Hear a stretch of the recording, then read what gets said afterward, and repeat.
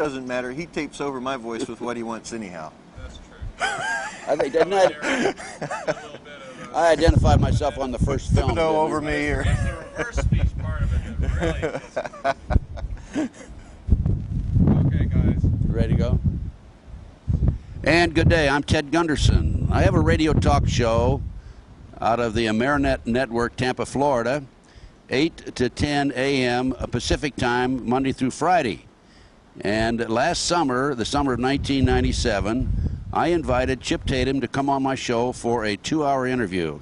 Well, ladies and gentlemen, that interview ended up 26 hours. And I had him back recently for another interview, another 20 some hour plus interview. This man is full of all kinds of information. And before I leave you and introduce you to Chip, let me just mention that uh, my radio show can be heard on Galaxy One Transponder 17, 5.58 frequency wideband audio satellite. So today I have with me Chip Tatum. This man is unbelievable. 25 years, CIA Black Ops operator. Chip, welcome to a video which you and I are going to distribute. Tell the world about what went on behind the scenes in your Black Op operation. Thanks, Ted. Great to be here. Great to be here. Great to be here, huh? Great to be here. Chip never could speak English too well. no, this guy's very intelligent and a good man, great American. I'm very proud to be a part of uh, his, uh, at least uh, spreading the information out uh, to help uh, Chip any way that I can. And we have some books we're going to talk about later on, the Tatum Chronicles. And uh, Nixon's Darkest Secret, I think, is yes, Nixon's Darkest Secret, which we will discuss. But before before we go into the books, Chip, how did you become involved in uh, working for the CIA?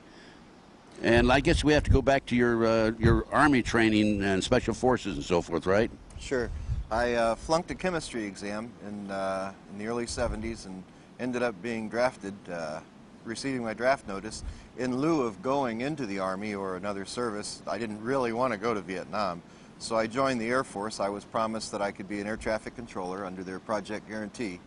Um, uh, they did make me an air traffic controller, but they made me a little bit different type of air traffic controller. They sent me to Army Jump School and Special Forces training, and I became a combat controller. Uh, during my first tour in uh, Vietnam, I was on a classified mission. Uh, having uh, completed the mission, we were captured. I spent uh, time in captivity, and when I came out of captivity, captivity, we were debriefed by the uh, CIA station chief out of Saigon, Bill Colby. From that time uh, in 1971 until 1992, uh, I was one of the boys. Okay, now, now, Chip, you joined the Air Force so you could be uh, a traffic controller, right? Air traffic controller, and you were told that you wouldn't have to worry about being in the front lines, right? That's right. Even, even if I did go to Vietnam, I would be in an air-conditioned control tower hundreds of miles from the enemy. I like and so, uh, what other jokes do you have for us today? Huh? I'd still like to find that tech sergeant recruiter. he probably went underground. if he knew any, as much about you as I do, he probably uh, is uh, disappeared, maybe even, huh? Uh, okay, Chip. So uh, you're um, you're over. Uh, you had like over 100 jumps behind the enemy lines, Right. and this was before you became uh, involved in CIA operations, or before? Uh, during. During. So uh, after your capture, you were grabbed by the CIA, and and uh, and they liked uh, you know what you'd done, of course. Now, what was uh, why were you captured, and what were the what led up to that? Um, Was this Operation Red Rock? this was Operation Red okay, Rock. Okay, then let's go back before that, Okay. and uh, tell us about uh, Operation Red Rock. When did you first have an inkling uh, that you'd be involved in this operation? Well, excuse me, just a minute. Operation Red Rock is a code word, right? That's that's a code name for the for the particular mission that we were on. And they always have code names, right? Or numbers. Sometimes they have numbers. Right. Okay. So when did you first have an inkling that uh, you were going to be involved in this operation? Um, I had just jumped in, uh, parachuted into uh, uh, NKP Thailand, the base that I was uh, TDY to, um, and when I landed on the pad at the medevac uh, pad at uh, the hospital, um, a chopper was inbound, and when the chopper landed, a special forces captain and some other people got off. One of the patients, one of his men, was on a stretcher. Uh, the captain went in, and the, cur- the colonel who ran the base was there to meet me. Uh, they were, it was an award ceremony. Um, when they were going in, uh, he said something to the colonel, and they all turned around and looked at me, and I knew I was in trouble then. And uh, what happened after that? Uh, the following morning at 3 a.m., I was called into the colonel's office. And let me tell you, folks, I was a little airman, you know, just made buck sergeant, and I rarely had contact with a colonel in my life. One time, and that that's for disciplinary purposes in Oklahoma City. And how old were you then? 19 years old, Just a kid. just a just a kid. So when they told me I was to report to the colonel, I knew I was dead. I'd done Well, something not wrong. yet. I'd done something wrong, and I was gonna gonna fixing to get it. Uh, but Chip, had you had special forces training at that point? Yeah, uh, I had spent uh, almost a year in Special Forces training across the United States, uh, Sea Survival School, uh, POW, jungle training, the works. And uh, what did the colonel say to you when you walked into his office? He told me that I was uh, there to uh, join a mission, a team, a joint task force that's been put together uh, for a classified mission, and uh, I. He gave me the opportunity to, to talk and let him know how I felt about it, and he said, "How do you feel about this, Sergeant Tatum?" I said, "Well, you know, sir, uh, I'm new in country. I I really don't, other than schooling, don't have the experience of someone you need for this." I think you ought to get someone else. He said, I didn't ask you what you think. I just gave you the opportunity to accept it before I told you you're going anyhow. Okay, so you volunteered, in other words. He volunteered me. Yeah, right. Okay. and what happened next? Did you go into training with these people then, with, with the other uh, Went- went- crew crew members? Went and packed up my gear, uh, was on the chopper out of there within an hour. And uh, where where did you uh, fly to, and when did you arrive there? We flew about uh, 20 kilometers outside of NKP to a, outside of a small village where we'd set up a training camp for Team Red Rock.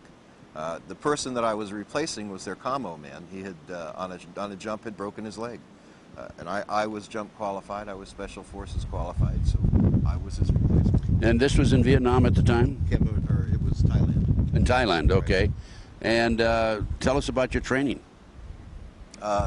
It, it was a short two week training, uh, really familiarity with one another because we actually didn't get the uh, mission parameters in until three days prior to the, uh, to the operation. Um, we were primarily set in, set in place and uh, worked in the, in the community seeking out uh, Viet Cong along the border of Laos so, so that we could get some uh, tactical training.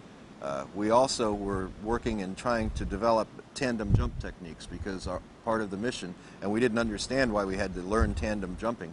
Uh, that's parachuting with two people uh, w- un- until the actual mission brief. But uh, we were trying to work out tandem jump techniques, and we did it. And how many people were in training with you at that point?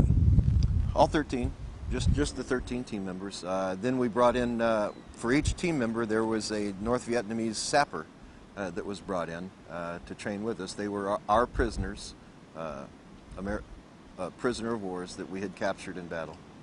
And uh, these were the ones that were going to jump with you? These were the ones that uh, we weren't sure why we, we were jumping with them and, and working with them. All we knew is that uh, these were the men that we were going to be doing something with at that point. Did you know any of these other crew members uh, before this? No, like I say, I was the only Air Force member of the Air Force, and I'd just been in the Air Force for a year, so no, no one. And did they know each other? No.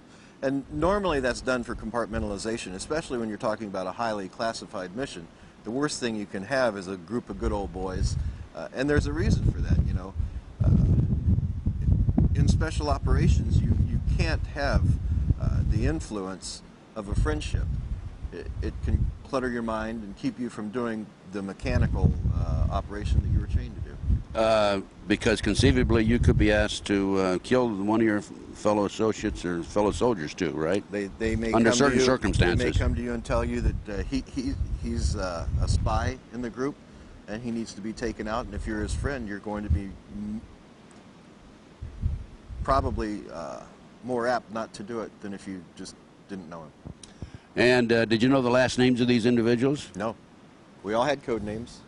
Uh, mine, although they called me Bulldog in country, uh, the actual code name I was given while I was there was Highway. Why? Any particular reason for highway? Our captain, uh, team commander, uh, would always explain to us it's my way or the highway, and he'd tell the team that. Well, I was willing to take the highway. I wanted to leave, especially after I saw the kind of things they did. Those guys were crazy. For example, So I took I took the highway. Highway. Well, at one point they uh, they were saying uh, how high the helicopter could go and jump without a parachute without getting hurt. You know, just for fun. I, I mean, mean, this, how- is, this was an in-country activity, and they had a contest every year where they would take and they just jump out of the helicopter as, as it was exiting the AO. well, there were a few guys broke their legs on that one, weren't there? you bet. That's how ready the, the guy I replaced broke his leg. How high would they go, by the way? Well, I went high and I, I was dizzy for about two hours. How high were you when you jumped? I think it was about 35 or 40 feet. Oh, that's, you had to know how to roll then, didn't you? Oh, roll. I didn't even know I was. I thought I was stepping out of the aircraft onto the ground, but he'd taken off already. I thought he was just hover, hovering, you know. So much for surprises, huh? Sure. Okay, so you saw these crazy guys training, and you said, "Hey, you know, I wish I'd uh, taken that assignment back 100 miles behind the enemy lines in the uh, air, at the at the airport as air traffic controller. It didn't work out too well. Uh, so what happened after that, Chip? The uh, we were called back into Task Force Alpha. That was the intelligence entity. Uh, they, that's where all of the intelligence was gathered for uh, South the South Vietnam uh, uh, area of operations, um, and integrated, and then passed out. So anything that comes out of Task Force Al- Alpha has to be the correct information. Uh, everyone accepts that as being authentic and on on target for for our intelligence. We were called back to Task Force Alpha. Uh, we met for our actual mission briefing. Um, when we went went to sit, uh, the colonel called the room to attention, and in walked a general and a couple civilians. Uh, we had already been told that there are a lot of suits around, and that's that just means CIA uh, in the area. a lot of activity, suit activity. So we knew something was up. Uh, the man who actually briefed us, we nicknamed Mr. Peepers because he looked like the Mr. Peepers from from the screen. Uh, Bill Colby, uh, name was Bill Colby, uh, and and he was uh, station chief there for the CIA in uh, South and- Southeast Asia. And actually, the the CIA does not operate in a in a uh, arena. Was not allowed to operate in that arena as as the CIA. So his actual designation was Ambassador Colby, attached through the embassy in Saigon.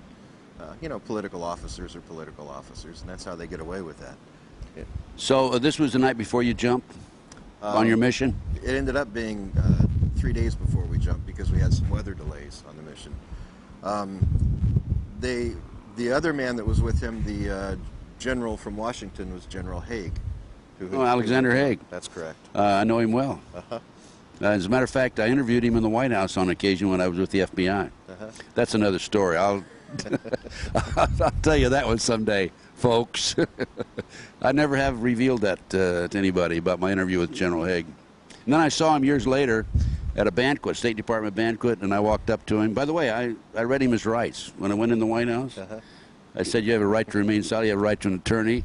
And um, I met him at a banquet years later, State Department, and um, I walked up, he gave the speech.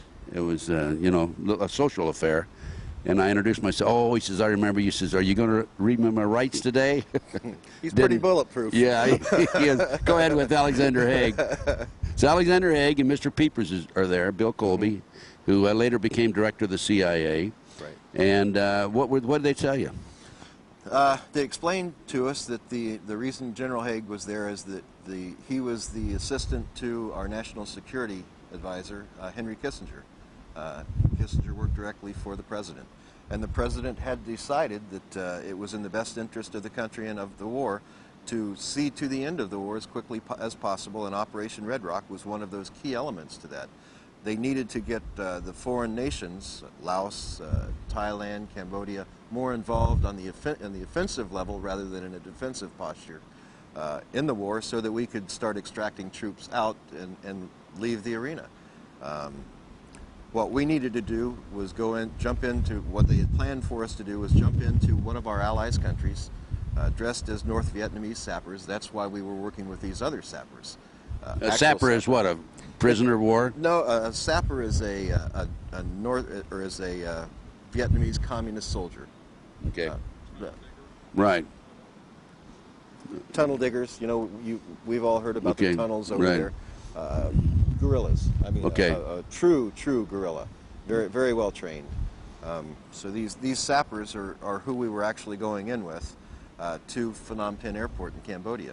The reason uh, it was decided to do this was Lon Nol, the CIA-placed uh, premier of Cambodia at the time, was still fence setting. He just wouldn't get in a heavy offensive posture against uh, the Chinese-led uh, armies of North Vietnam. Uh, he was sitting on the fence, so we decided if we went in as uh, North Vietnamese sappers and totally destroyed the assets on the airport, uh, which were primarily supplied by the United States anyhow. Uh, they were our aircraft that we'd given him. There were some French aircraft on, on the tarmac, but not many. Uh, if we would totally destroy those assets, it would make him realize that uh, the North Vietnamese communists were actually coming in after his country now. And he'd get off the fence and ask us for help. Boy, it worked too. Well, you said uh, we decided. Uh, you meaning uh, people in Washington D.C. decided. Nixon, Nixon, Nixon- Nixon himself. This was actually Dr. Kissinger's plan. So Dr. Kissinger came up with this idea. Came up Nixon approved it. He approved it with the statement after after uh, thorough thought that, uh, and this was debriefed to me by uh, Mr. Colby, that no one can ever know. No one can ever know what we've done to our allies. Otherwise, we wouldn't be trusted anywhere in the world. And was that the case? That was the case. No one could ever know what we had done, and I was. We, when we were debriefed, we were debriefed with a 25-year classification period. That we Well, you were debriefed years. What years later? Uh, I was debriefed uh, when I came out of the coma in, ho- in the hospital in 1971. Okay. Uh, now this is uh, what year now? Again, going back to the 1971. When you when you made the drop and you were debriefed. Uh, In that's Janu- January of 71, and then I was debriefed in uh, June of 71. okay. Okay, so uh, you you made the drop with the sappers, right? Made, made the drop. It was a night jump uh, out of out of a C a C-130. Night drop in, uh, just south of town. We made our way into Phnom Penh. Uh, we rendezvoused with our transportation. Our transportation was uh, provided by Montagnards. Those Mountain men? Mountain men from Vietnam, special forces trained. Uh, very good fighters, but the thing about Montagnards is if they saw that uh, the platoon that they were working with, and spe- the special forces platoons, or the recon groups they were working with, if they saw that they were going to lose, all of a sudden those guys disappeared into the forest. They weren't going to lose with them. Right. and they could negotiate those jungles like it was nothing. Now you were uh, 13 men. Did you have 13 sappers? Uh, no, unfortunately, we lost one sapper, uh, and Snake uh, just didn't get along with him. Neither did Pablo, but uh, Snake is code words for two of the guys in your crew. Snake and Pablo, yeah, they didn't get along with him. So we didn't go in with a full contingency of sappers. Uh, when we did jump in, the sappers had figured out that they weren't going in. We had told them, our interpreter told them that uh, we were actually jumping in to turn them over and trade them for American prisoners, and they were in a release program. Well, they didn't believe that. So they had their own plan, contingency plan set up, and when we were, uh, when, it- when, when we jumped in, they simply, because they were hanging below us and in front of us for the jump, uh, they, they simply tucked, caused us to, and caused us to fall and roll and uh, tried to take us out. We And how many sappers were? 12 then? Uh-huh. 12 and 13. Uh-huh. And And when it was all said and done, there was eight. eight sappers. Eight sappers were left there. Uh, so uh, A you few, few of them tried to escape and die as we uh, traversed trying to get uh, to our target. So five of them. In total. No, no, uh, eight. You had uh, four of them then. Yeah, four of them with us. Four of them died. Four of them died uh, af right after you jumped Right. uh, because they tried to overtake you. Now, what did you do with the others that were there that, that did we- survive? Well, we had to leave some evidence of who who was uh, providing the, uh, the operation. We had to leave it leave them on the airport, so we released them on the airport uh, and let gave, gave them a fair chance to go, and then shot them. And uh, in the meantime, did you uh, commit your act of sabotage at the airport uh, after that or before that? We had several different entry points uh, into the airport. Uh, we came in the north side by the munitions dump. Uh, and, you know, when we talk about coming in the north side, we didn't realize that there were mines in this called a dead zone. Uh, i and it was completely mined between the two fences, and we weren't briefed on that. So we, we immediately knew something was up, uh, and we weren't we know now that we weren't to return and we were to be left there. Well, if you came in and you went through the minefield, you survived going in, right? I, I didn't go through that, the minefield. I came in the front door of the airport with the team. Okay. The ones that came in through the minefield, did they survive? Yes, the the sapper didn't. Oh, I see. They sent a they sapper out ahead of them. the sap, sapper, when they figured out they were in a minefield, they let him go ahead to clear the mines. Okay. So uh, you committed your act of sabotage. Yes. And uh, what about uh, ground forces uh, at the airport, the other side? Well, it, was a staged arena. The ground forces had been pulled away. Uh, there, there was minim, minimum security, just a skeleton crew there. We uh, ran across the skeleton crew of uh, palace guards that had been there, um, confronted them, and had to take them out. And uh, so, uh, was your uh, your act of sabotage uh, quite uh, uh, all inclusive, or was it just kind of a hit and miss situation, just to let you, let them know that uh, so-called the North Vietnamese have been in there? No, it, it was fairly inclusive. We even had air support from pilots, uh, um, whether uh, uh, flying uh, North Vietnamese aircraft. Uh, they dropped some rounds on, on the airport so that we could ensure that the devastation was good enough to warrant Lon Nol's participation with us. And uh, you've completed your mission. The sappers were uh, eliminated. Uh, you left. How many survived coming out of there? There were 13. every one of us. Every one of you survived. Every one of us walked out walked out of that encampment. Weren't they worried about one of you going and uh, being identified as an Anglo uh, at the airport, even though you're dressed in North Vietnamese Well, uniforms? And there was a contingency for that. Uh, we had what called what's called slap packs. Uh, it's a it's a uh, napalm-filled uh, container that uh, we could pour the napalm on the body and pop a, a magnesium grenade, whiskey peat, and uh, burn their body right there. So, so know, they're the, not, not there. recognizable then. Sure. yeah. Okay, you got out, and what happened after that? How'd you get out of there? Uh, the Montagnards who were tasked with the transportation. Uh, we had a rendezvous point. Uh, we met. Uh, we exited the area of operation and uh, started heading north out of town. We knew it was uh, 15 to 25 miles to the northeast of town was our rendezvous point where we were to be picked up. Uh, but that, you know, it's not like the interstates we have here. These are little little roads. Uh, we we had a first indication that something was wrong because uh, our platoon sergeant Pop saw that we were going in the, a little bit of the wrong direction, and we never really turned to the northeast. And then the timing was off. All of a sudden, they stopped, and it, it wasn't long enough to have gone 15 clicks or 20 clicks outside of town. So 15 kilometers, you went maybe, for what, 5, 10? Maybe about 10 after we left the limits of town. Right, Uh, right. About, about so 10 you stopped, and what happened then? Well, the, the we were in a, a large vegetable truck um, with canvas sides. Uh, it came, it came, it stopped, and the Montagnards uh, got out. But we all, all of a sudden we heard receivers click. Uh, they were they were loading their weapons. Uh, so, Pop and uh, and my way, our our team commander, uh, moved around to the back of the truck. They each each took out a grenade on each side and tossed the grenade up back toward the, the front of the truck on the on the ground. They didn't pull the pins; they just took the grenades out. That when when you're a person and you see a grenade fall, you jump, you dive, you try to get out of there, and that's what the Montagnards did. Uh, when when after they'd thrown the grenades out, they immediately jumped out and took took over, uh, overcame, control. took control, over, overcame the guards.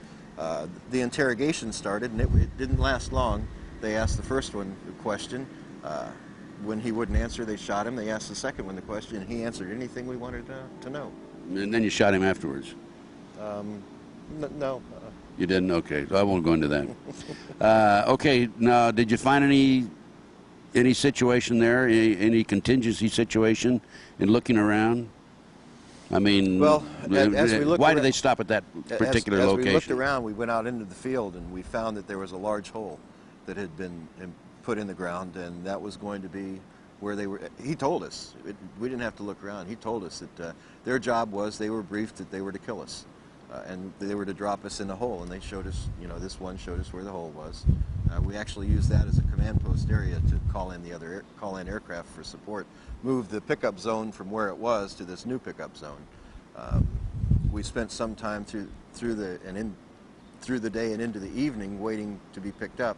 Uh, it, it was quite uh, comprehensive what we had to go through just to communicate out of the country and get an aircraft to come into a place that we weren't. You know, I we contacted uh, Moonbeam, which was our airborne command post in the area of operations on HF frequencies, high, high frequencies, um, and tried to get them to come in. And you know, the pilot said, "Well, you can't be there because we aren't there." You know, in Cambodia, and that has only recently, I guess, in the past what 10 years or so, come out that yeah, we really were in there. We really were operating in Cambodia. We re- really were operating in Laos, uh, and these were classified arenas. So this w- did you have an alternative plan in case something went wrong that you would be picked up at a certain location there then?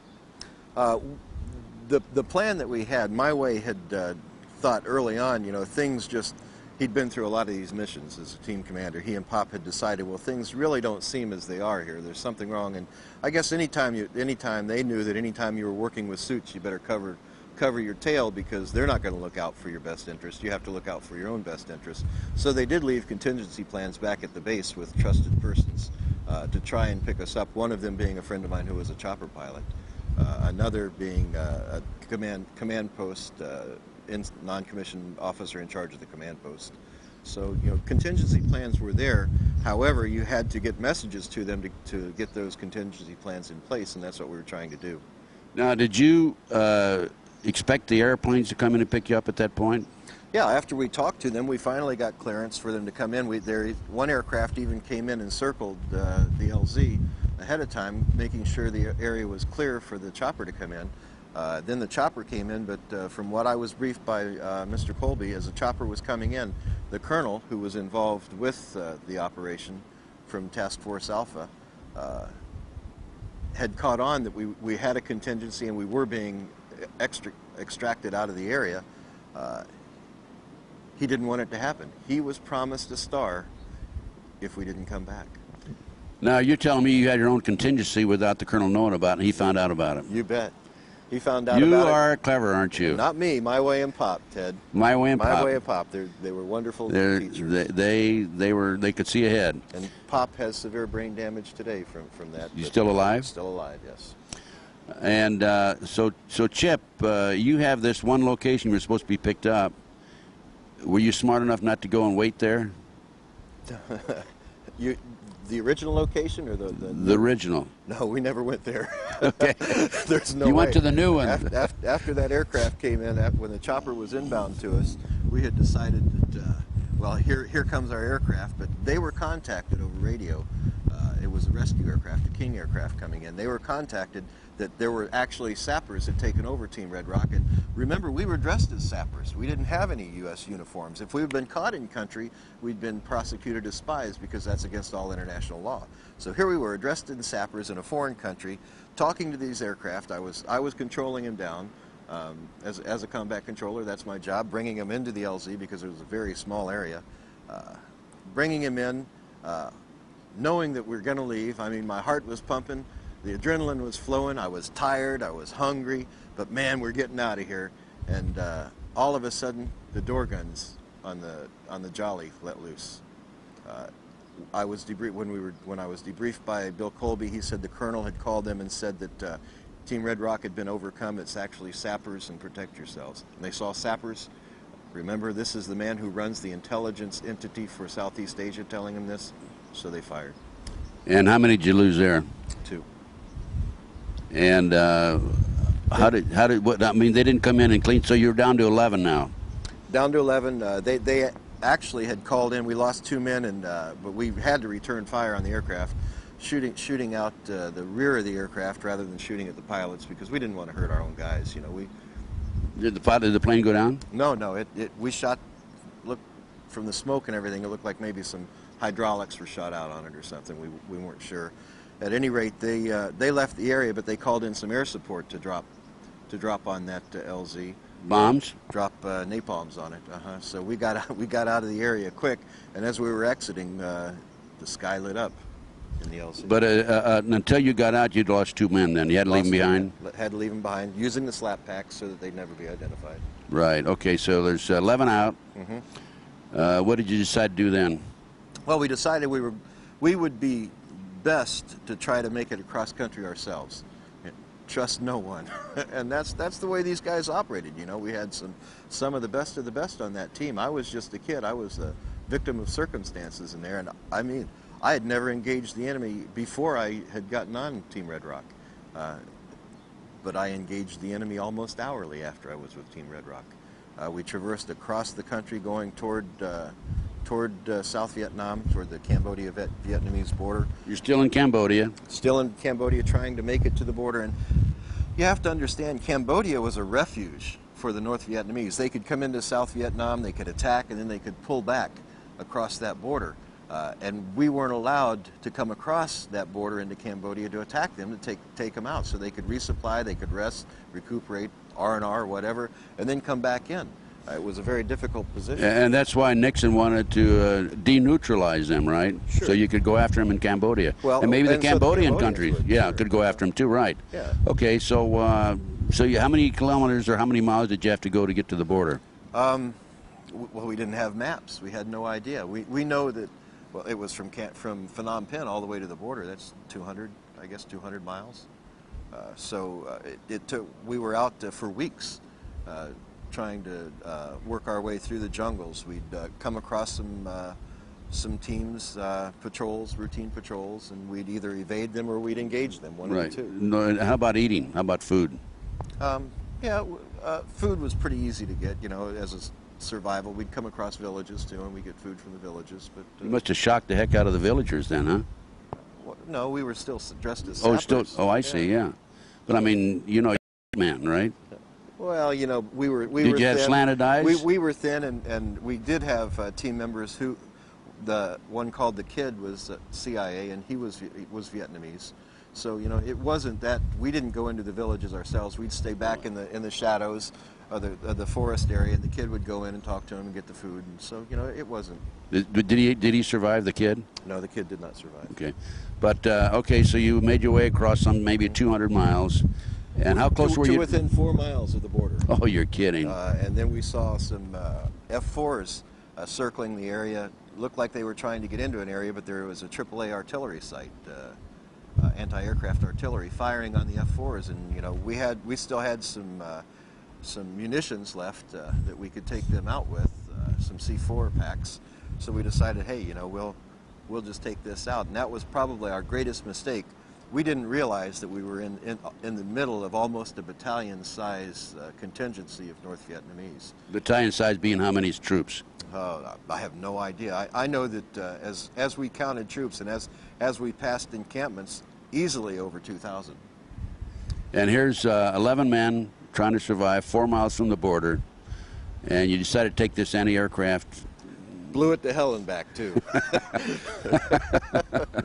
I guess you did, but that was a mistake because that brought a lot of uh, undue and un- unnecessary pressure on you. And uh, obviously, they started looking around for, hey, where'd this come from, right? Yeah, and as we'd walk across paddies, the patrols would be coming one way, and you know we dressed as sappers, you know, using and had didn't have U.S. Uh, uh, munitions with us. All of our munitions were uh, were Chinese uh, AKs and so forth. So we, we would be traversing one side of the paddy while this other team would come across, and Kid would be there and salute them, you know, and hail them, and we just keep walking. You know, but however, one time we came right up to the forest area and we came face to face, and here's this here's this kind of face looking directly into a, uh, a North Vietnamese uh, lieutenant, and we were in trouble. Obviously, obviously. Did you have? Did, did you go into combat then, or did you try to? Went right into combat. Oops, let me see. Where's that AK? Whatever. You huh? know, they didn't have enough bullets in those for me. Uh, they, uh, my way used to tell me, you know, I was a white knuckle fire because I'd hold that trigger down and melt that barrel. the clips just weren't big enough for me. So you had hand hand to hand at that point. I had hand to hand. I'd melted barrels. We we we actually ran out of ammunition. We had to overtake uh, other patrols to re, re uh, stock ourselves. I mean, these guys were good. They were the best, Ted. They were true American heroes, doing doing their job as best they could. Don't you think there's someday, Chip, that we can uh, honor these men, but there's no way of knowing their last names, is there? Well, you know, Pop, it, Pop knows a couple of them, and uh, I think that uh, someday he may be willing to do that. He does have uh, severe neurological problems. Uh, he's able to talk. He knows me. Uh, he remembers what went on, but uh, it, it's affected his motor uh, motor movements, and, and he uh, he's not willing to, to do anything he thinks that will uh, endanger his family. Can't blame him for that. Not at all. No. And he's still alive. And where is he? What state is he in? Oklahoma. Oklahoma. Good old Okie, huh? So what happens? You were captured. We were captured. Uh, we spent 92 days in captivity, being moved from point to point uh, in camps. Uh, we were uh, actually uh, interrogated by Chinese and Soviet officers. It was never Vietnamese officers. The, the Vietnamese were there, uh, Vietnamese soldiers in the encampments because it was theirs, but the actual linguists and interrogate, interrogators and those who performed the torture were Chinese and Soviet. How many? How many do you have there now in your team? I believe uh, 10, maybe 9 ended up in, in captivity. So you lost two along the way. Mm-hmm. Uh, and uh, where did they uh, incarcerate you?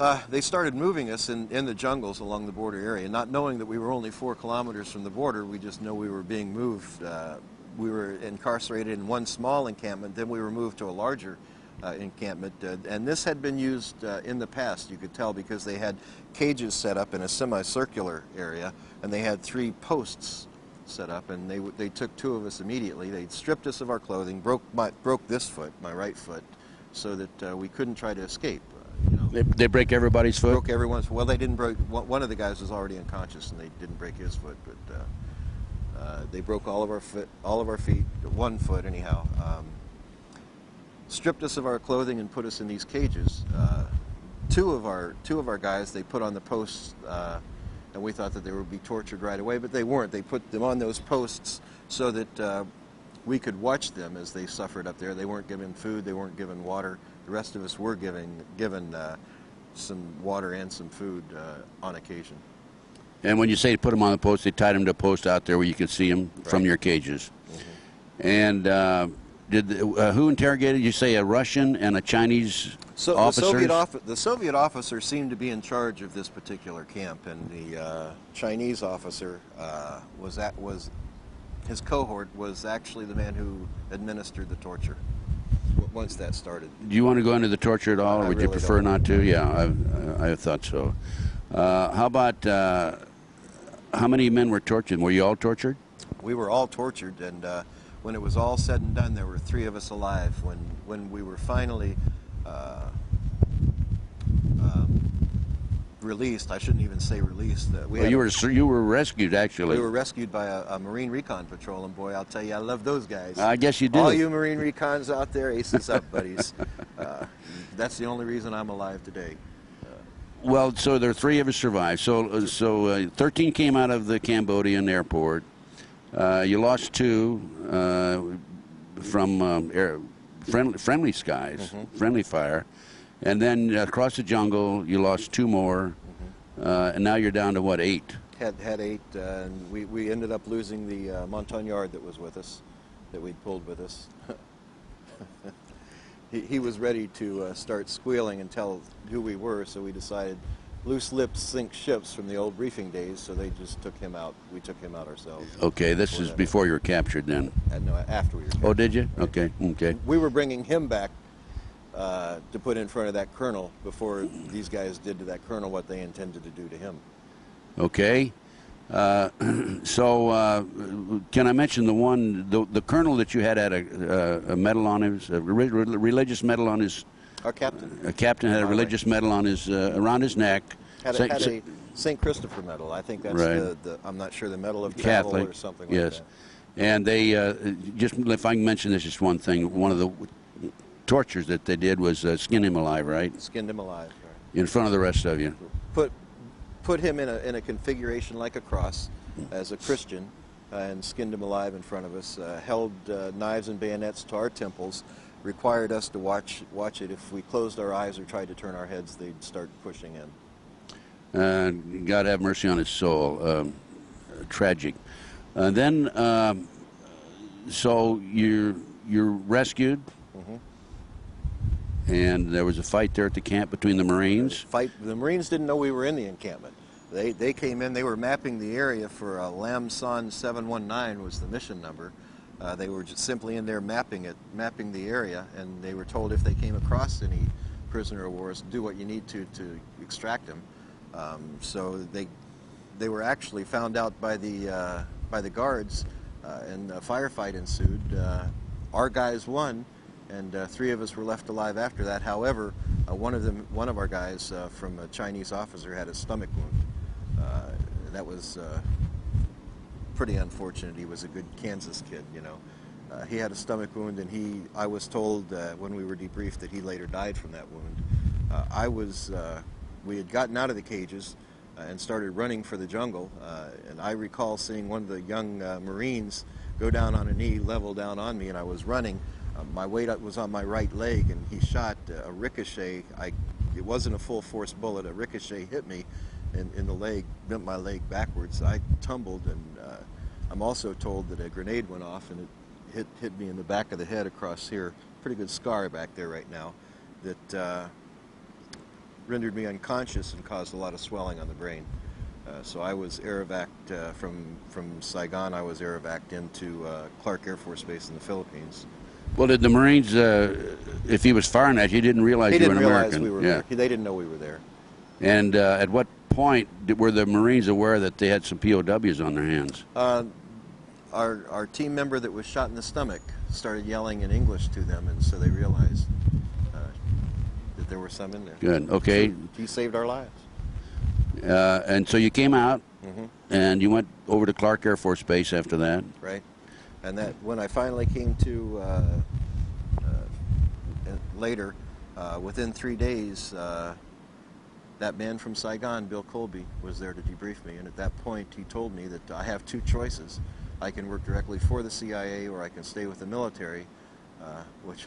Which I've had such great experiences with at that point, and work under the operational control of the CIA. Well, you know, honestly, I figured, hey, you know, I've got this tour in Vietnam. I can stay in the states now. I don't. I never have to come back. I said, okay, I'll stay in the military because it, with the CIA, I know I could go anywhere, you know. But I had a government commitment still, so I said, uh, I'll stay with I'll stay with the Air Force. You guys can control my assignments. Little did I know that I'd I'd spend more years back in that arena, uh, working later for a uh, company called uh, Air America. In the debriefing session, uh, if you can tell us this, uh, were you informed of the fact that um, as to who put the orders out that none of you should return, none of you should be come back alive? He told me that it was Nixon gave the order that no one can survive. And Bill said that when he got that order in, uh, Haig and Kissinger disagreed with it, but the orders came from the commander in chief himself. So he had to plan the contingency as such. He said, but I, you know, uh, Sergeant Tatum, I planned it so that uh, I knew you guys could overcome this obstacle. The two mountain men. That's right. But And it, but the, we just didn't have a contingency for the rest of it. Nothing you can do. When, when you have a United States Army colonel uh, and United States Air Force colonel both uh, become traitors to their country, where are these colonels today? I don't know. Okay. So much That's for that sa- that's the- question. That's the, safe answer. Uh, I wouldn't put money on that one. okay. Anyway, uh, so be it. Let's leave that uh, as is. Uh, you come back, you go to work for the Air Force uh, on a contingency plan to also work with the CIA, right? Operational control. All my orders at that point uh, would be controlled by the Central Intelligence Agency. They they would work through. Uh, actually, the position that they used to work to, to gain movements, as I would receive orders and see who signed the orders, was a person who would provide, who would be seated at, as the um, uh, deputy director of intelligence to the Joint Chiefs of Staff. And most of the orders that I have, you'll see, I have. Uh, so I don't. They may be in there. One of them may be in there. You'll see that this person is the person who will, would sign those orders through the years, and actually move me from one place to another. Uh, at one point, that man's name was Colin Powell. Uh, so, what was uh, Colin? What was Colin Powell's rank at that time? I think he was a two-star general at that time. That position was a two-star position. So, in essence, you actually went to work for the CIA, even though you were in the military. even though I was Status. in the and pretty pretty illegal. You know, you can't. We couldn't draw checks from two entities, double dip, uh, but uh, our operational efforts were all controlled by the CIA. And what were your assignments after that? You came back, you recovered, you, uh, you gained your health back. Uh, when you were uh, being uh, taken care of physically uh, and regaining your health, was Pop with you? Your friend from Oklahoma? No, uh, he, he had been sent straight back to the States. His head wounds, uh, he received head wounds also. They were so severe that he had to go straight back to the tra- trauma and care center. in the States. Uh, so that was uh, the end of your uh, relationship or association with Pop uh-huh, until later years, yeah. until later years. Okay, you've been in touch with him since Right. then. Okay, uh, but right now you're going to work. Uh, you're still in the Air Force. You're going to work for the CIA. What were your assignments? One of the assignments, uh, to give you an example, I was mo- moved all over the place. I was sent down uh, working because it was such a, an intense mission and there was a lot of knowledge on my part. The orders were they wanted to hold me close to the White House, so I was actually, uh, Weren't they afraid you were going to talk?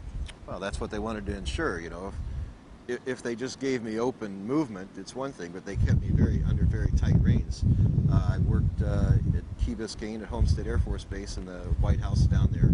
Uh, I was in charge of the uh, receiver site for Air Force One when they would come in. Uh, in addition, Was Nixon the president then? Nixon was the president then. Weren't you a little nervous over that? As, as a matter of fact, myself and my uh, uh, NCOIC uh, were going out to the control tower to bring in Air Force One at one point, and uh, uh, he had made a, a mention to the Secret Service as they were checking badges of personnel going in, saying, uh, he, he said, "Can I? What are you doing in the area?" And uh, my, the master sergeant said, "Oh, we're here to here to see the crook." we found ourselves fa- face down by the Secret Service, and then when they got our credentials, they said, "What are you guys doing talking like that?" So, little did they know, huh? well, he was just joking, you know. Yeah. Little did they know that Nixon, had, on- la- yeah, Nixon had given the order that you were not to return from an assignment And in I never Cambodia. told him that, you know. Right. I had never told my NCOIC. I, I, I kept my lips closed and zipped for, for all 25 years, and in 1996, uh, that was the end of the 25-year classification period, and I had start I started my book then.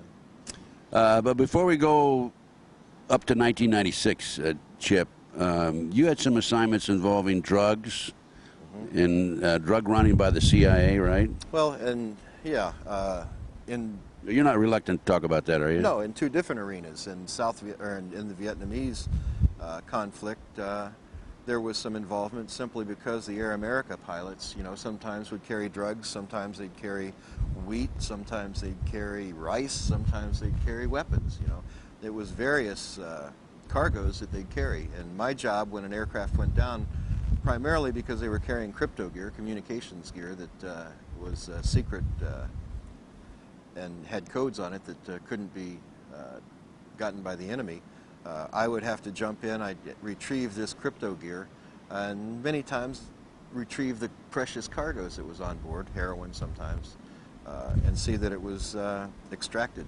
Air America being a CIA air operation. CIA air. So you, you had that in Vietnam, and then you came back and you went to work. Uh, you were involved in. Uh, Actually, actually, when Nixon went to Peking, I was involved in that. okay, tell us about that. I was sent ahead of him into a place called Guam. I I controlled the aircraft across, and then I was moved over closer, and I What, what year are we now? That was, I think, 72, Okay. maybe 72.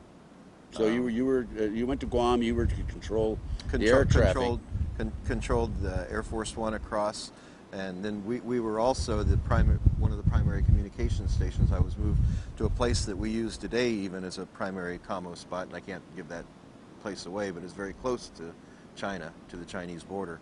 Uh, then we were moved there to maintain contact in case there was an emergency so we could put fighters in. And uh, but uh, that was it. I mean, basically, you were just guiding the plane. I mean, keeping the lanes open so no other aircraft would be in that air air, air lane, right? We'd, we'd keep aircraft 25 miles from Air Force One. We'd have two fighter aircraft in, for, in front of Air Force One, two, air, two fighters to the rear, and have rescue aircraft up in different uh, locations along the way. And uh, okay, nothing unusual about him going to Peking, though, was there? No, nothing at all. Okay, uh, Other than he's the first president, uh, you know. to go to China. Right, and, and now and going along him with him with open access was Dr. Kissinger. So Right. Uh, okay, let's go back to uh, your CIA uh, activity in South America, Central America?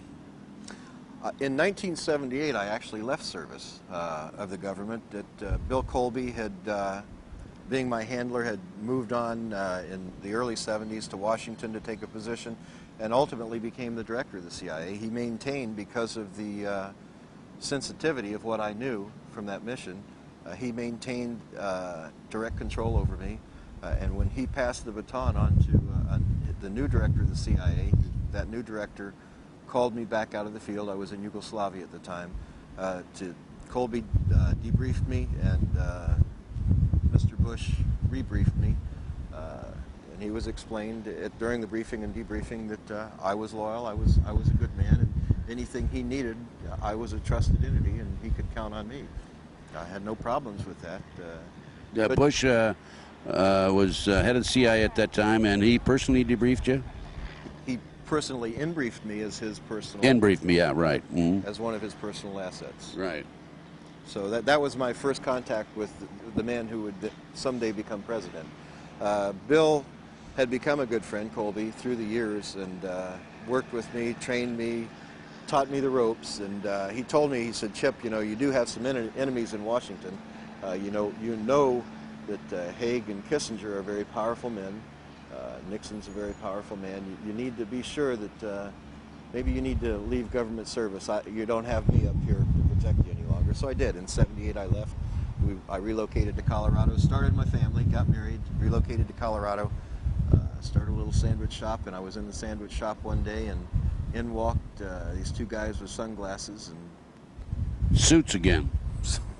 God, those suits. Okay, uh, you're you're jumping ahead now. I want to go back out to Central South America. Are you avoiding that, or No, we haven't gotten to that. that Oh, you haven't? That Oh, was really? in 1980 when I was reactivated. Oh, in 1980 you reactivated. Okay, Right. so you go to Colorado, and all of a sudden, two guys with suits walk in with sunglasses, and uh, what do they say to you? They say bulldog, and I just thought, oh no.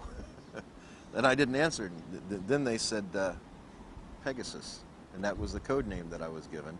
So I knew, you know, I, I didn't know who they were at first, but when they used Pegasus, I knew I was toast. I was- Right, Pegasus was a code word used for your operation. Right.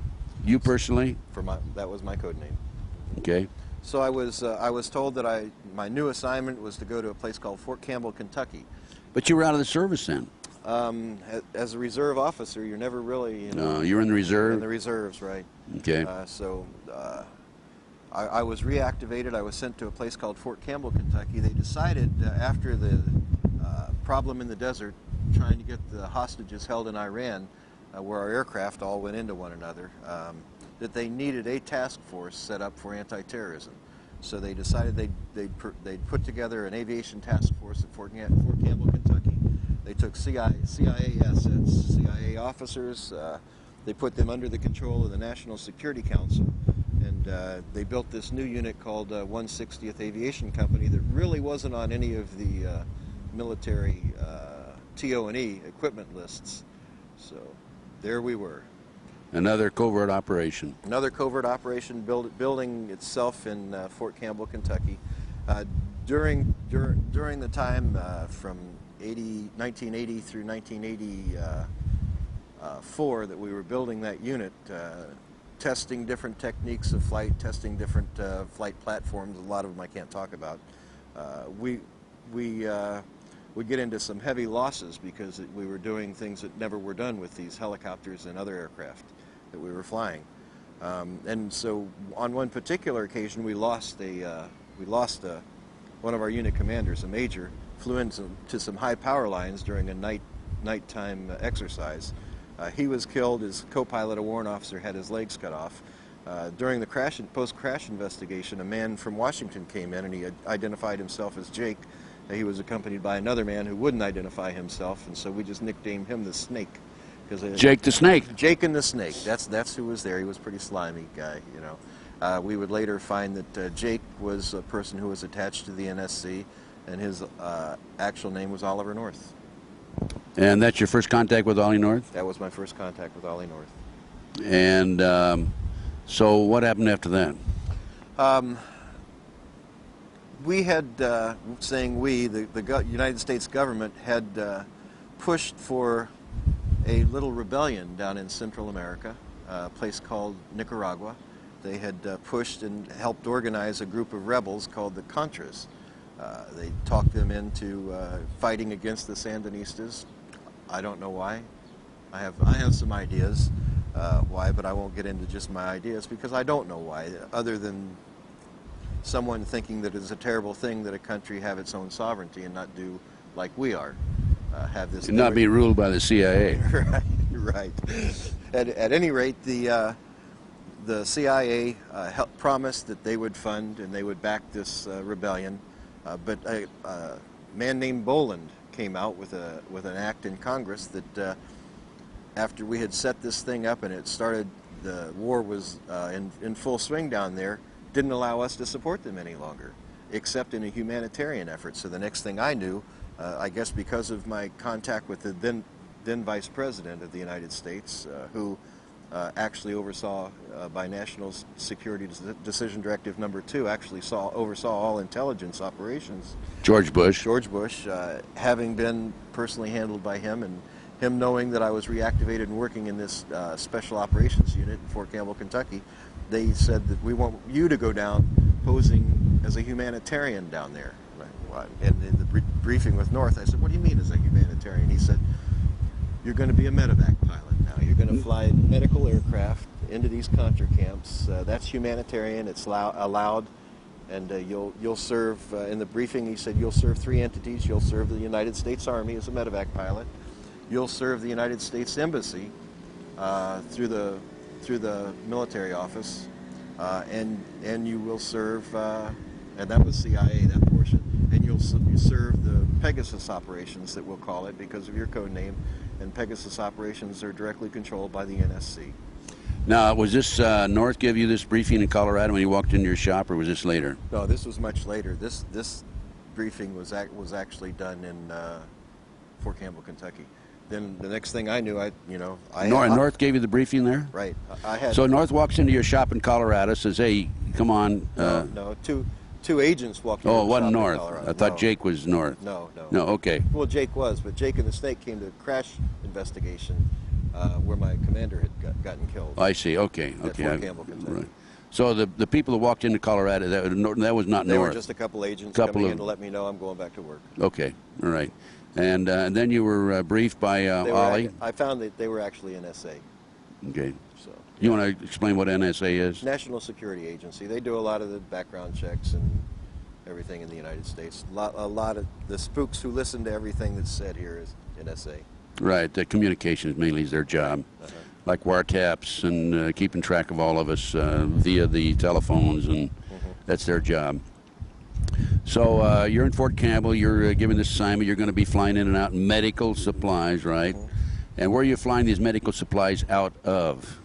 Out of the Contra camps, uh, when I finally went down posing as a medevac pilot, we would uh, we went into the Contra camps. We'd always take coolers in. Uh, usually, the coolers going in were C4 explosives, grenades, things like that, uh, and we would bring medical supplies out. Uh, and those medical supplies we would bring out in these coolers, uh, big 120, 124 quart coolers, were was actually packages, you know, bricks of cocaine. Okay. Did you actually see this? Actually saw it. Actually tested it. And where did you do this? We did field tests right in our uh, medevac uh, offices in uh, Palmerola Air Base. So uh, before you put it on the plane, you tested, to make sure it was real cocaine. No, we we tested them uh, on several occasions. We didn't test every package, but some occasions they were delivered to our, our uh, operations headquarters at Pomerola to take to an to a aircraft at a different location to fly out of the country. And whenever that happened, I, I would actually do a field test on it right there. On occasion, when I could get away with it without anyone seeing me, I'd do a field test on the aircraft. That was pretty hard to do. Uh, Chip, you're flying out of what airfield field in the United States? Um, in Honduras, we were fly, flying out of the Contra camps into three airfields. uh, In one was San Lorenzo, one was Palmerola, and the other was in, in the northern part of the country called La Mesa. Uh, from there, the the uh, coolers were picked up by C-130s, uh, C-141s, or, or one, civilian 123s. Uh, C-123s run by a, a company called uh,